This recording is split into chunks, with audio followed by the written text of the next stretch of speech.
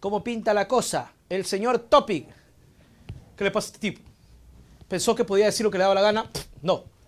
Aquí está, Jan Topic.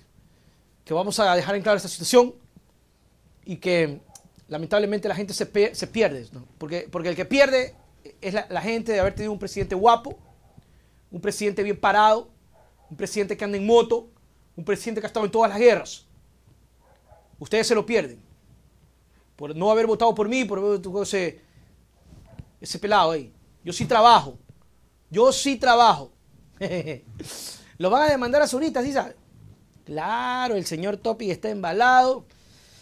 Vamos a ver de qué se trata. Creo que era por una acusación que hizo Zurita. No sé si es la que tiene relación hace años que habló sobre una visita o era lo de las lo de los radares. Veamos. No olviden de darle like y apoyen con el super chat, ¿ah?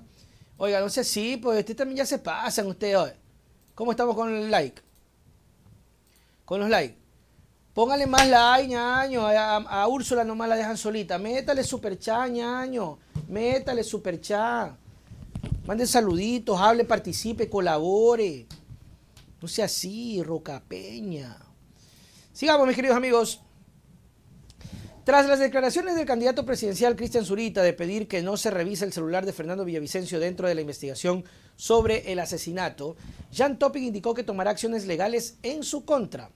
Topic, quien también participó en las elecciones presidenciales, indicó, me complace informarles que hemos preparado una demanda contra Zurita y me complace ver que aún se encuentra en el país. Agregó que Zurita no puede decidir si el teléfono de Villavicencio debe o no formar parte de la investigación. ¿Quién es, quién es él? Preguntó Topic. ¿Quién es él para determinar si tiene o no información relevante de la investigación? Bueno, estoy de acuerdo con Topic, lo dijimos nosotros ayer. ¿Quién es Zurita? Y lo que, lo que Zurita está demostrando es que hay cosas ocultas, oscuras y raras en el celular de Villavicencio. Creo que no podría estar más claro porque realmente no quiere que salga a la luz la información del dispositivo. Topic además enumeró hechos que Zurita realizó en la primera vuelta electoral, como por ejemplo indicó un día antes del silencio electoral eh, Zurita que Topic financiaba su campaña con el dinero de los contratos de las cámaras de seguridad de Guayaquil y que la precisión eh, de analítica de estas cámaras eran de 0,08, la precisión de la analítica de las cámaras.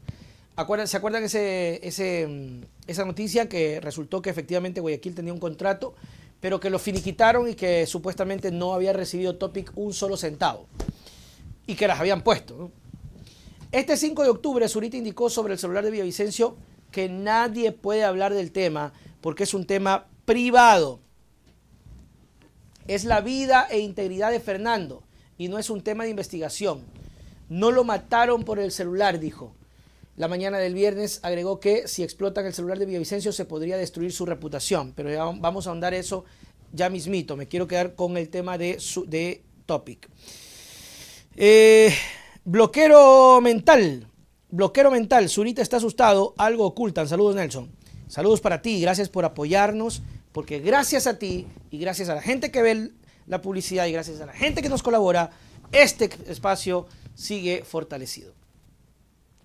Topic ha sido muy claro porque además este, la, la demanda eh, va por esas dos cosas, ¿no? Incluso hace una publicación Topic bastante larga y pregunta, ¿se acuerdan ustedes del Club de la Pelea? Del club de Ian, Ian Jack Complex of Surprise. Les cuento que no he visto la película, cualquier rato la veo. Ahora bien, dado que usted, le dice a Zurita, parece basar su carrera en la mentira, me pregunto si recuerda todas las facilidades que difundió en campaña sobre las cámaras de Guayaquil, valientemente justo un día antes del silencio electoral. ¿Recuerda cuando afirmó que yo financiaba mi campaña con dineros de esas cámaras? ¿O cuando afirmó que la precisión, la precisión era de 0,08? Incluso antes de que se estableciera el protocolo de pruebas para poder determinarlas. Y que esto lo basó en un supuesto informe que resultó ser trucho, preliminar, incompleto, no vinculante, que ni siquiera tenía firma oficial. Me complace informar, me ahí voy a hacer como Topic, ¿no? Para que sea mucho más ameno el tema. O sea, Topic escribiendo, bravísimo. no, mentira, Escribiendo la carta. Pero abando, peñaño, CBD. Ah, tabaquito nomás. Me complace informarles, ecuatorianos, que he preparado una demanda en su contra. Y me complace ver que aún está en el país.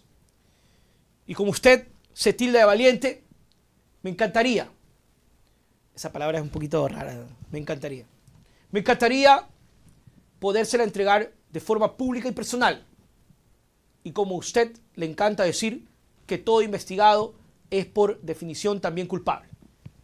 Espero que no sea de doble moral y ya automáticamente se autocatalogue como mentiroso, vividor, oportunista y mercenario de la información.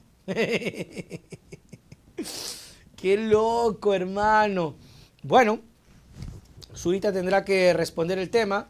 Zurita tendrá que eh, esperar primero. Eso tiene que, tiene que efectivizarse y luego realmente pues hacerlo efectivo.